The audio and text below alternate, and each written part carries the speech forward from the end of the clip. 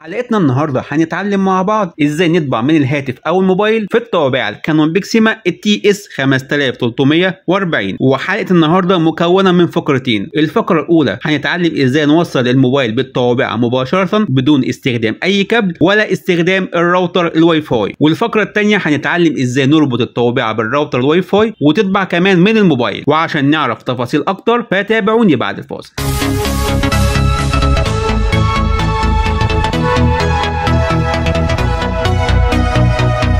السلام عليكم ورحمة الله وبركاته. ازيكم اخواني عاملين إيه؟ اخباركم إيه؟ ان شاء الله تكونوا بخير وفي افضل حال. معاكم احمد السام من قناة Canon بالعربي. وحلقتنا النهارده هنتعلم مع بعض إزاي نطبع من الهاتف أو الموبايل في الطوابع ال Canon PIXMA ال TS 5340 وإن شاء الله الحلقة تنال عجبكم. مبدئيا كده يا جماعة قبل ما نخش في الخطوات على طول الطوابع دي فيها خاصيتين إنك تقدر تستخدم الطباعة من الموبايل. وحلقة النهارده هتكون مكونة من فقرتين. أول فقرة اللي هنبدأ بيها دلوقتي حالا إننا هنطبع من الهاتف مباشرة بالطوابع بدون استخدام أي كابل ولا استخدام ال router ال Wi-Fi. والخاصية الثانية اللي هتبقى الفقرة الثانية وهي إزاي نربط الطوابع بال router ال Wi-Fi ونطبع من الموبايل. فلازم يكون عندك علم إن الخاصيتين مختلفين عن بعض نهائيا. يعني الخاصية دي فيها ميزة وعيب والخاصية دي فيها ميزة وعيب. الميزة في خاصية الطباعة من الهاتف مباشرة بدون الراوتر ميزتها إنك هتقدر تطبع من الموبايل ولا هتستخدم كابل ولا هتستخدم راوتر. ودي حاجة ممتازة جدا. لكن عيبها الوحيد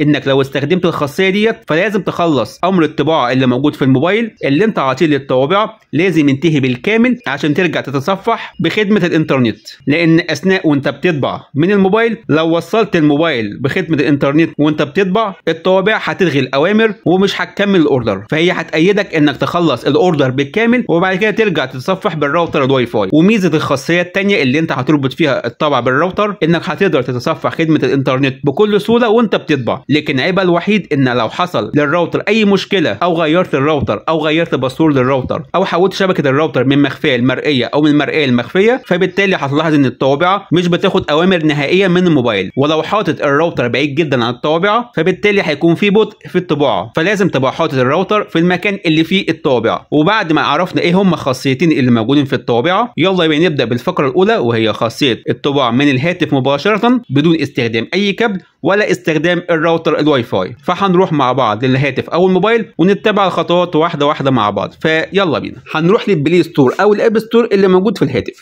ونكتب في البحث أو ال search كلمة Canon. ونعمل search. هتلاحظ الاختيار بتاعنا. مكتوب عليه Canon PRINT Inkjet and SELPHY.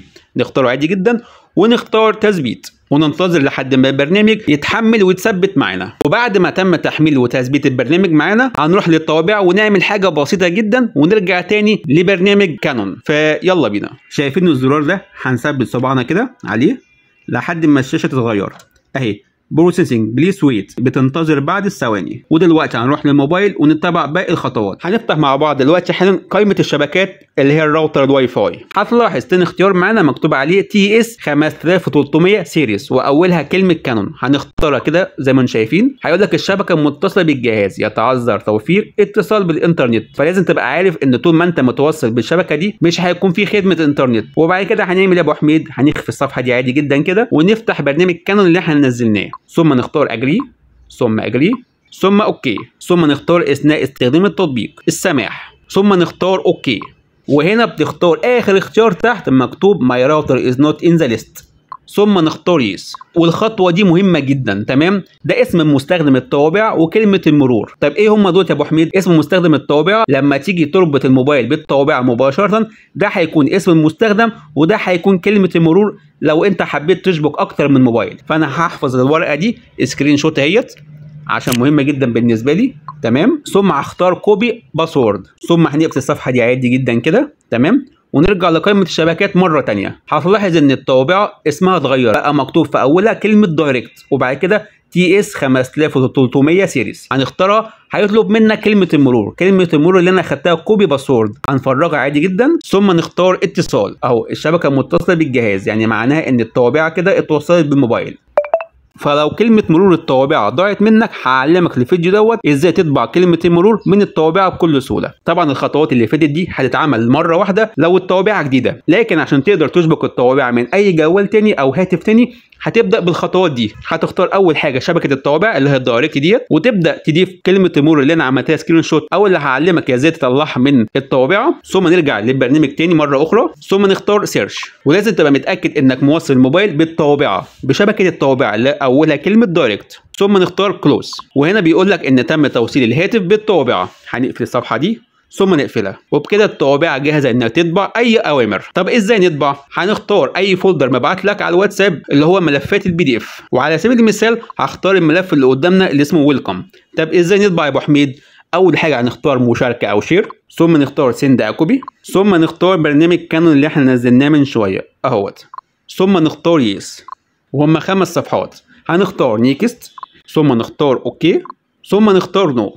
لو أنت ضغطت على print دلوقتي حالا فالطوابع هتطبع الأوامر على طول. فأنا عايز أظبط باقي الإعدادات لأن الطوابع دي فيها خاصيتين مهمين جدا وهي إنك تقدر تحول أي حاجة من ألوان لأبيض وأسود. والخاصية الثانية إنها فيها طباعة على الوجهين أوتوماتيك. فهنختار change setting أول حاجة copies ده بيقول لك عدد النسخ اللي أنت عاوز تنسخها. معاك من نسخة لحد 100 نسخة. فبتختار النسخ اللي انت عايزها. تاني اختيار ده ما تحددش عليه صح؟ تالت اختيار ده paper size لو هي مش متحددة A4 فانت الأفضل إنك تحددها A4 رابع اختيار ده مالناش دعوة بيه. خامس اختيار ده plain paper لو انت بتطبع ورق مستندات اللي هو ورق المذكرات المدرسية فانت هتختار أول اختيار plain paper لكن لو انت بتطبع صور فوتوغرافية اللي هو الورق اللامع فانت هتختار تاني اختيار photo paper plus glossy 2 سادس اختيار ده مكتوب عليه color mode طول ما هو متعلم عليه كلمة color معناه إنك بتطبع المستندات بالأسود والألوان. لو ضغطت عليه ضغطة واحدة كده هتلاقي فيه اختيارين color و monochrome ال monochrome ده إنك تحول أي حاجة بالأبيض والأسود فقط كأنها طوابع ليزر. فأنا هختارها مثلا monochrome عشان أقدر أوفر في الحبر. آخر اختيار ده وهو يعتبر أهم اختيار والناس بتشتري الطوابع عشانه. two-sided يعني الوش والظهر. لو ضغطنا ضغطة واحدة كده لو هو متحدد على simplex معناه ان هتنسخ ورقة ورقة. فأنا هختار مثلا تاني اختيار. لكن الاختيارين اللي بعد أول اختيار دولت الوش والظهر خلينا دلوقتي نجرب. ورقة ورقة منفردة وبعد كده نجرب على الوجهين. ثم بعد ما تختار جميع الأعداد بتاعتك بترجع خطوة لورا. ثم نختار نو. ثم نختار برنت زي ما أنتم شايفين الطبع اخذ الأوامر عادي جدا من الموبايل.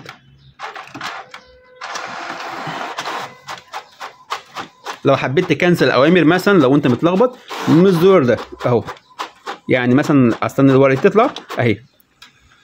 كده أنا كنسلت هي المفروض خمس أوراق أنا طبعت ثلاث أوراق بس. كده اتعلمنا إزاي نطبع من الموبايل بملفات PDF على الوجه الواحد. تعال نتعلم دلوقتي إزاي نطبع على الوجهين اوتوماتيك عشان نقدر نوفر الورق. هنقف عند نفس الخطوة زي ما اتعلمنا كده ونختار change setting ثم two side الآخر دي هنخليها تاني اختيار. ثم نرجع خطوة لورا. ثم نختار print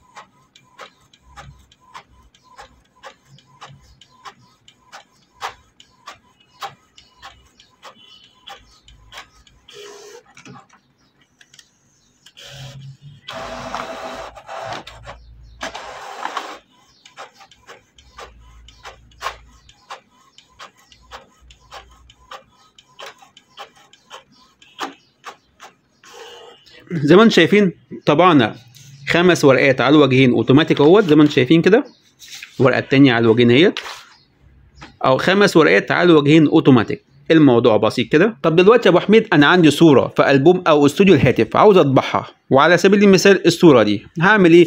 هعمل مشاركة أو share ثم نختار print ثم نختار yes وطبعا الصورة ديت بتختلف خالص عن ملفات ال PDF فلازم نظبط شوية الإعدادات بتاعة حجم ونوع الورق. عشان الطوابع ما تديكش عطل إنه حجم ونوع الورق غير مطابقين. هنعمل إيه؟ نختار print settings ثم نختار ثالث اختيار paper size ونخليها A 4 وال media type طبعا أنت عايزها فوتو أو plain paper أنا هختار plain paper ثم هنرجع خطوة لورا ثم هنعلم صح بقى على don't show this again أهي. ثم نختار نو no. وبعد كده هنعمل إيه يا أبو حميد؟ هنختار print وطبعا زي ما أنتم شايفين طباعة الصور بتبقى أبطأ بكتير من الملفات. لأن ملفات ال PDF أنا كنت مختار انها تطبع بالأبيض والأسود. وأنا سبت الصورة دي انها تطبع بالألوان. فبالتالي الصورة دي هتطلع ملونة.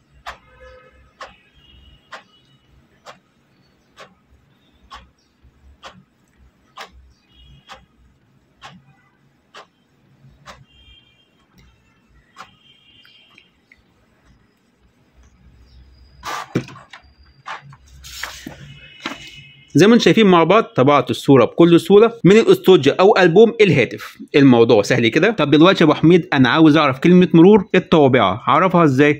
نختار OK. ثم ننزل تحت شوية كده ونختار device settings OK. ثم نختار LAN settings اهي OK؟ ثم نختار wireless direct ننزل تحت كده OK؟ ثم نختار show setting information OK؟ ثم نختار on دي ونختار OK كده. هتلاقي اسم الطابعة اهوت اللي هو اسم الشبكة اللي جوه الطوابعه اس اس اي دي اهي direct بعد كده اسم الطابعة تحت شوية كده اهو ده ال password. ده ال password اللي حطيته في أي موبايل. في ساعتها الموبايل بيتوصل بالطابعة مباشرة. الموضوع سهل كده. ودلوقتي خلصنا الفقرة الأولى وهي إزاي نطبع من الهاتف مباشرة بدون استخدام الراوتر الواي فاي ولا استخدام أي كابل. ولازم تبقى عارف انك لو حبيت تطبع من الموبايل تتأكد ان شبكة الهاتف أو شبكة الموبايل شبكه على TS 5300 series عشان تقدر تطبع من الموبايل أو الهاتف مباشرة. ودلوقتي وصلنا للفقرة الثانية مع بعض إزاي نطبع من الهاتف باستخدام الراوتر الواي فاي فأول حاجة هنربط الطابعة بالراوتر الواي فاي والخطوات كالتالي.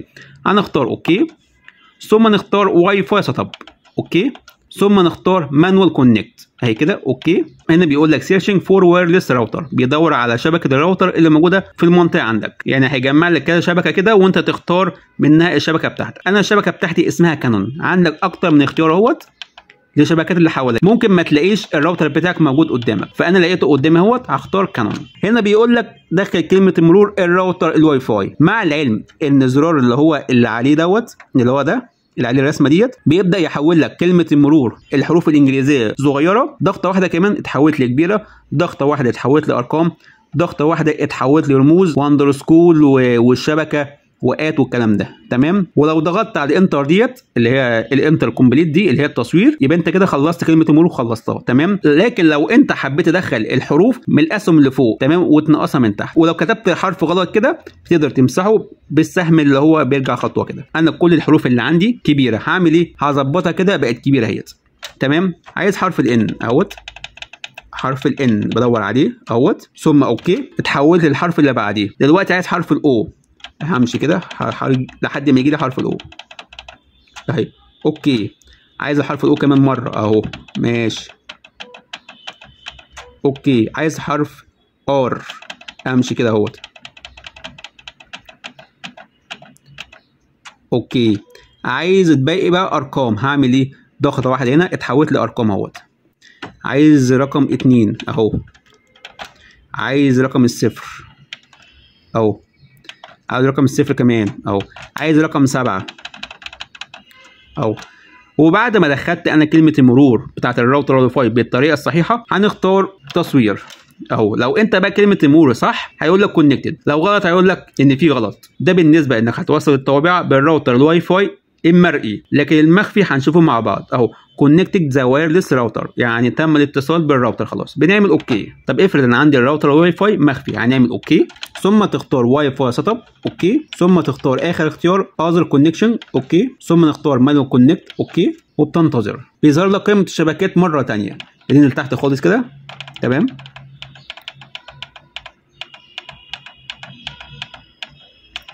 لحد ما يجيلك الاختيار ده بالأخير ده. OK؟ بتدخل اسم الراوتر وكلمة المرور الراوتر وبتشبك معاك بكل سهولة. وده في حالة إنك عامل الراوتر عندك مخفي. هتلاحظ إن الطابعة عملت علامة التردد دي. كده معناها إن متوصلة بالراوتر الواي فاي. لو عملت X يبقى حصل مشكلة في الراوتر الواي فاي فلازم تظبط من تاني الاعدادات. فدلوقتي حالا هنروح لجهاز الموبايل. أو الهاتف ونتبع الخطوات واحدة واحدة مع بعض. فيلا بينا. أول حاجة لازم تتأكد منها إن الموبايل متوصل على شبكة الراوتر اللي متوصل عليه نفس الطابعة. ونفتح ال Play Store أو ال App Store. اللي موجود في هاتفك ونختار Canon. ثم نختار Canon PRINT Inkjet and SELPHY ونختار تثبيت. ثم ننتظر لحد ما البرنامج يتحمل ويتثبت معانا وطبعا أنا برجح الفقرة الثانية اللي هي إزاي نعرف الطابعة بالراوتر الواي فاي. عشان في نفس الوقت تقدر تتصفح خدمة الإنترنت وأنت بتطبع. وما يحصلش أي مشكلة. بس بديك نصيحة إن لازم الراوتر يبقى في نفس المكان اللي فيه الطابعة أو في نفس الأوضة. مش الأوضة اللي بعديها أو اللي بعديها. يعني الراوتر طول ما هو بعيد عن الطابعة بيحصل بطء جدا. وممكن الطابعة ما تتوصلش وممكن الطابعة كل شوية تفصل من الراوتر وتيجي. لأن ال order اللي أنت بتطلبه بيروح على الراوتر بعد كده يرجع للطابعة بعكس خاصية الاتصال المباشر من الموبايل للطابعة ال direct. ثم نختار فتح. ثم نختار agree ثم agree مرة أخرى. ثم OK ثم أثناء استخدام التطبيق. ثم السماح. ثم نختار search طبعا المفروض دلوقتي إن الطابعة موجودة جوه الراوتر فأي حد هيبحث عليها هيلاقيها. ثم هنختار close ودلوقتي بيقول لك إن ارى الطابعة جوه الراوتر وتقدر تطبع بكل سهولة. هنقفل الصفحة دي بال X كده مرة كمان. ثم نختار OK وخطوات الطباعة زي ما اتعلمنا في الفقرة الأولى هي هي ما فيهاش أي اختلاف. هنختار أي ملف PDF عندنا وليكن الملف بتاع كلمة welcome ده. والخطوات الطباعة كالتالي. نختار مشاركة أو share ثم نختار send copy ثم نختار برنامج Canon. أهوت. ثم نختار yes. طبعا أنا هخليه ورقة واحدة عشان بس ما أهدرش في الأوراق. ثم نختار OK. ثم نختار no. ثم في الخطوة دي بنختار print وزي ما أنتم شايفين الطابعة أخذت الأوامر من الهاتف وبتبدأ تطبعها.